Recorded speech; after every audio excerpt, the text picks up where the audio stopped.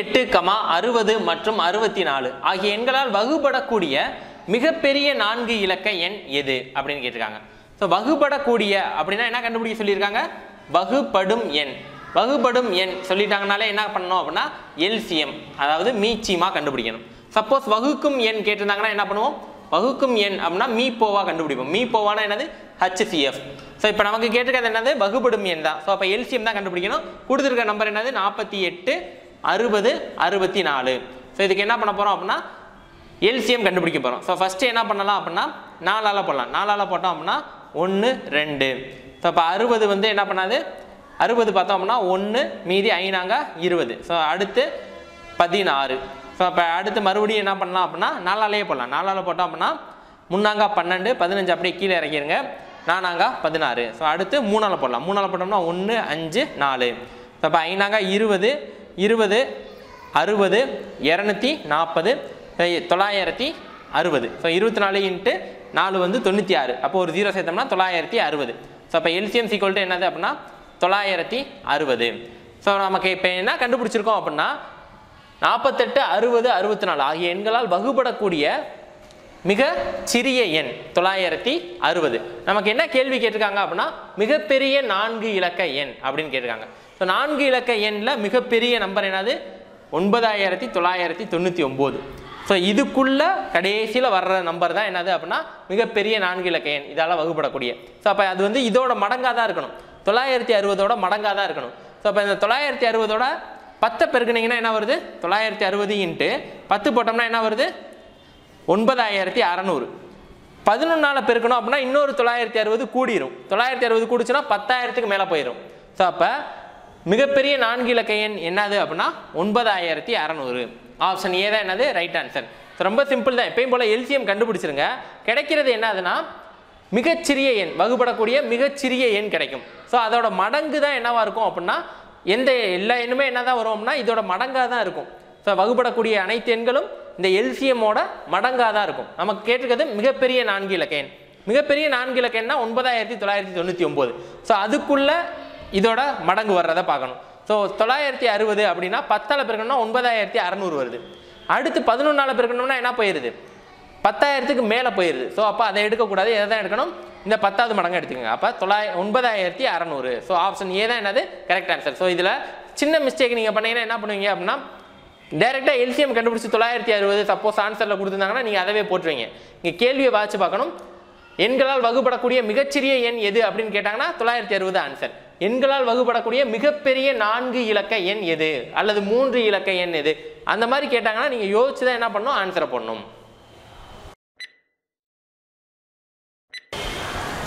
ஒரு எண்ணுடன் மூனை கூட்டினால் அது இருபத்தி ஏழு கமா முப்பத்தி அஞ்சு கமா இருபத்தி அஞ்சு மற்றும் இருபத்தி ஒன்று ஆகிய எண்களால் வகுபடும்.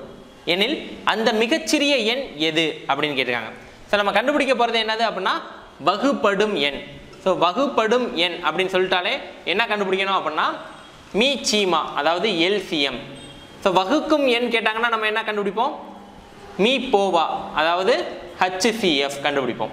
ஸோ இப்போ கேட்டிருக்கிறது வகுப்படும் எண் இந்த கணக்கில் ஸோ எல்சிஎம் கண்டுபிடிப்போம். ஸோ கொடுத்துருக்க நம்பர் என்னென்னது இருபத்தி ஏழு முப்பத்தி அஞ்சு இருபத்தி அஞ்சு இருபத்தி ஒன்று ஸோ ஃபஸ்ட்டு அஞ்சால் போடுவோம். அஞ்சால் போட்டோம்னா இருபத்தி ஏழு ஐயேலா முப்பத்தி அஞ்சு. ஸோ ஐயஞ்சா இருபத்தி அஞ்சு இருபத்தி ஒன்று அப்படியே கீழே இறக்கிடுவோம். அடுத்து ஏழால் போடுவோம். ஏழால் போட்டோம்னா இருபத்தி ஏழு கீழே வந்துருச்சு. ஒரு ஏழா ஏழு அஞ்சு ஏழு மூணா இருபத்தி ஒன்று ஸோ அடுத்து மூணால் போடுவோம். ஒம்பத்தி மூணா இருபத்தி ஏழு அஞ்சு ஒன்று ஸோ அடுத்து எதுவும் பொதுவாக இல்லை. அப்போ அப்படியே பிரிக்கிற வேண்டியதான் ஸோ ஐயேலா முப்பத்தி அஞ்சு முப்பத்தி அஞ்சு இன்ட்டு மூணு நூற்றி அஞ்சு. நூற்றி அஞ்சு இன்ட்டு அஞ்சு.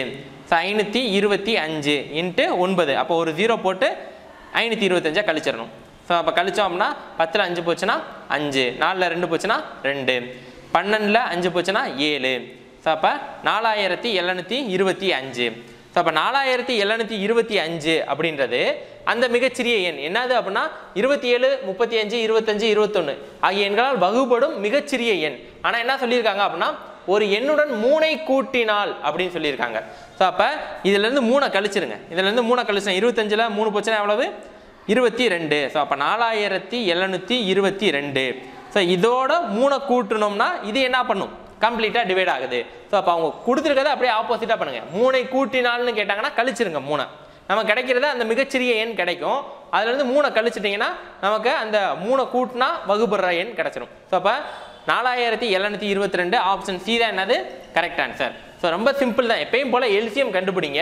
அவங்க மூணை கூட்டினால்னு கேட்டாங்கன்னா மூணை கழிச்சு ஆன்சராக போட்டுருங்க. சப்போஸ் மூணை கழித்தால்னு கேட்டாங்கன்னா மூணை கூட்டி ஆன்சராக போட்டுருங்க. ஸோ வகுப்படும் எண் அப்படின்னா எல்சிஎம் வகுக்கும் எண்ணா ஹச்சிஎஃப் அதை மட்டும் கரெக்டாக ஞாபகம் வச்சுக்கோங்க. எல்சிஎம் கண்டுபிடிக்கிறோம். மூணை கூட்டினால்னு சொன்னாங்க மூணை கழிச்சு போட்டோம். ஆப்ஷன் சி நாலாயிரத்தி எழுநூத்தி இருபத்தி ரெண்டு தான் என்னது? கரெக்ட் ஆன்சர் ஒரு எண்ணிலிருந்து ஐந்தை கழித்தால் அது முப்பத்தி ஆறு கமா நாற்பத்தி எட்டு கமா இருபத்தி ஒன்று மற்றும் இருபத்தி எட்டால் மீதியின்றி வகுபடும்.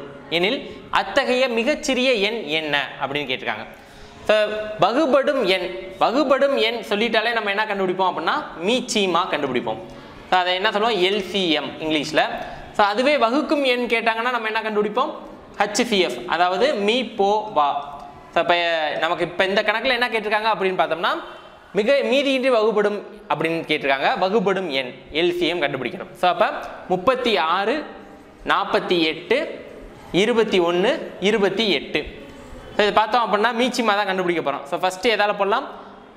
மூணால் போடலாம். மூணால் போட்டோம் அப்படின்னா பன்னெண்டு ஒன்று ஆறு ஏழு மூணா இருபத்தி ஒன்று அடுத்து இருபத்தி எட்டு அப்படியே கீழே இறக்கிடுங்க. ஸோ அடுத்து பார்த்தோம் அப்படின்னா மறுபடியும் ரெண்டால் போடுங்க. ரெண்டால் போட்டோம் அப்படின்னா ஆறு எட்டு ஏழு பதினாலு.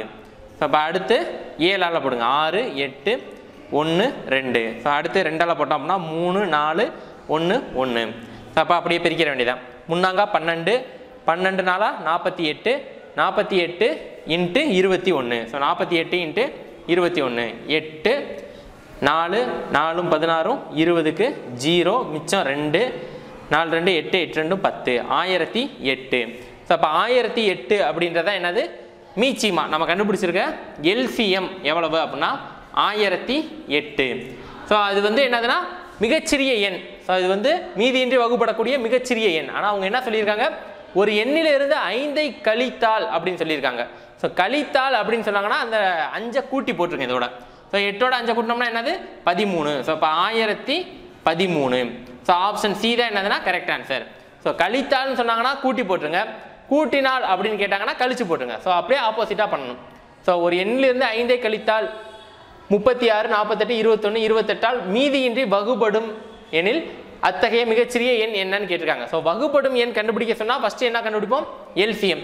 ஸோ எல்சிஎம் எப்பயும் போல கண்டுபிடிச்சிடும் ஆயிரத்தி எட்டு வருது. இங்கே என்ன சொல்லியிருக்காங்கன்னா ஒரு எண்ணிலிருந்து ஐந்தை கழித்தான்னு சொல்லியிருக்காங்க.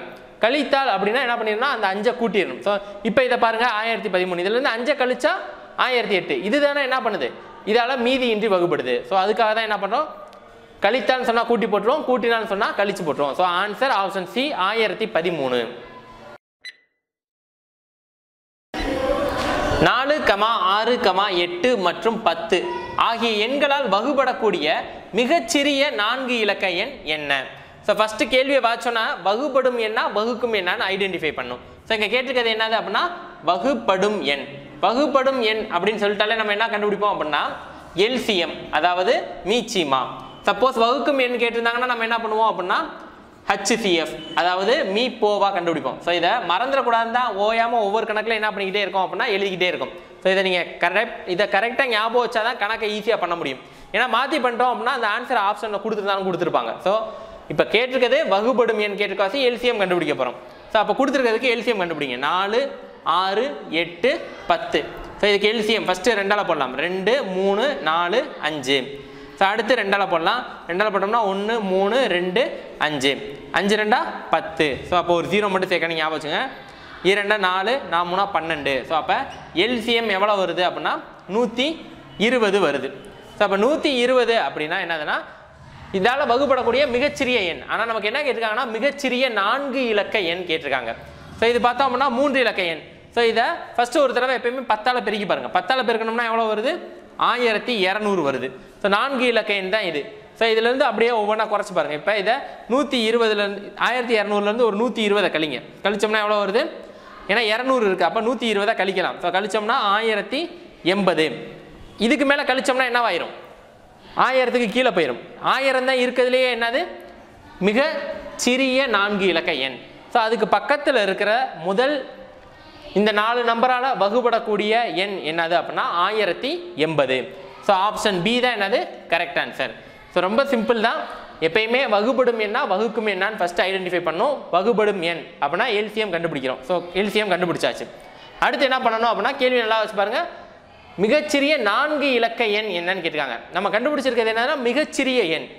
அப்போ மிகச்சிறிய நான்கு இலக்க எண் அப்படின்னா நான்கு இலக்க எண்களில் மிகச்சிறிய எண் என்னதுன்னா ஆயிரம். ஸோ அதுக்கடுத்து வரக்கூடிய எண்களில் எது மிகச்சிறிய எண்? இந்த நாலு நம்பரால் வகுப்படக்கூடியதுன்னு பார்க்கணும்னா எப்பயுமே எல்சிஎம்மோட மடங்கு தான் இதால் வகுப்படும் இந்த நான்கு எண்களால் வகுப்படக்கூடிய எண்கள் எப்பயுமே இந்த மீச்சிமாவின் மடங்குகளாக தான் இருக்கும். ஸோ இதனால் எப்பயுமே பத்தால் பெருகி பாருங்கள் பத்தால் பெருக்கணும் அப்படின்னா ஆயிரத்தி இரநூறு.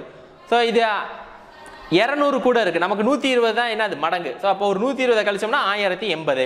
ஸோ அப்போ ஆயிரத்தி எண்பது தான் என்னது? ஆன்சர் ஆப்ஷன் பி தான் என்னது? கரெக்ட் ஆன்சர்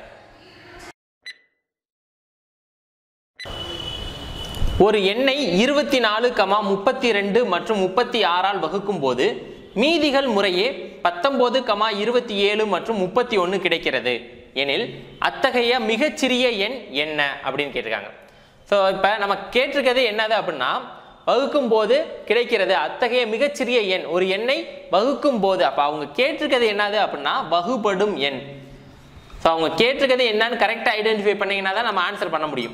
ஸோ அப்போ அவங்க கேட்டிருக்கிறது என்னது அப்படின்னா ஒரு எண்ணை அந்த எண்ணெய் என்னது அப்படின்னா இருபத்தி நாலு மற்றும் முப்பத்தி ஆறால் வகுக்கும் போது அப்படின்னு சொல்லியிருக்காங்க. ஸோ அப்போ இந்த ஒரு எண் வந்து என்னது? வகுப்படும் எண். ஸோ அந்த வகுப்படும் போ அந்த நம்பரை இந்த இருபத்தி நாலு முப்பத்தி ரெண்டு முப்பத்தாறால் வகுக்கும் போது மீதி பார்த்தோம் அப்படின்னா பத்தொம்போது இருபத்தேழு முப்பத்தொன்று கிடைக்குது அப்படின்னு சொல்லியிருக்காங்க. ஸோ அப்போ அந்த மிகச்சிறிய எண் அந்த மிகச்சிறிய வகுபடும் எண் என்ன அப்படின்னு கேட்குறாங்க வகுபடும் எண்ணா எல்சியம் வகுக்கும் எண்ணா என்னது?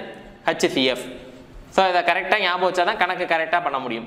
ஸோ ஃபஸ்ட்டு எல்சியம் கண்டுபிடிச்சிரும். ஸோ என்னது? இருபத்தி நாலு முப்பத்தி ரெண்டு முப்பத்தி ஆறு.